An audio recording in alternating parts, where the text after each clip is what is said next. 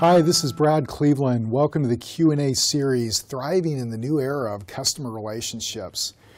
Today's question is, how do you keep up with all the change taking place in customer service and the technologies and management methodologies that are part of it?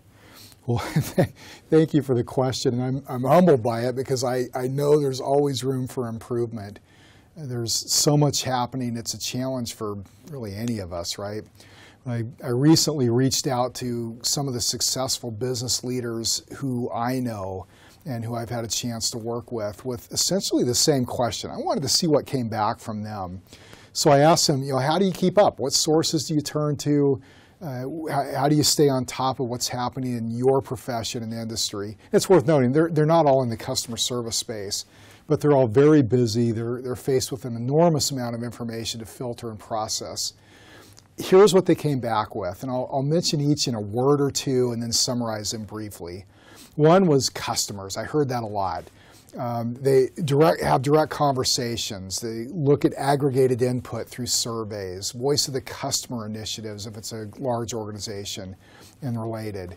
Peers and colleagues, you know, through direct contacts and conversations, meetings, listserv, conferences, uh, community forums, and so forth industry content providers via blogs, newsletters, books, videos, training, uh, infographics, all these sources provide focused news and information that's vetted and packaged into accessible topics.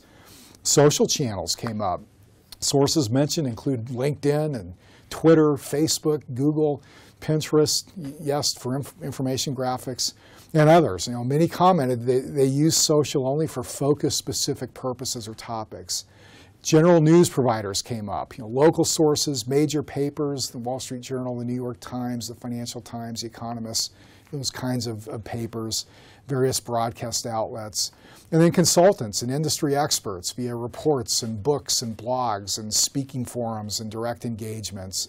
And search, which can lead to any of the above and more. And it's often cited as a first step in, in, in researching specific issues. I observed four themes in these conversations. First, these executives are intentional. A few even compared information to food diets. Keep it balanced, keep it focused, and supportive of what you need for optimum effectiveness. Second, they scale information consumption around workflow, getting really only what they need during crunch times, and they go deeper when time allows. Third, they make staying informed a priority. It's something they build into their daily habits and schedules. And finally, just about all of them mentioned that this is an area they want to continue to improve. Staying in the know requires thought and effort, a little bit of planning. You can't just wing it, some intuition even. And given today's fast evolving business landscape, it's well worth the effort. I hope that's helpful, and I especially love the food diet comments that I heard. You know, keep it focused on what's going to keep you and your goals, your direction, moving in the right direction. Thanks very much for the question. I'll be back soon.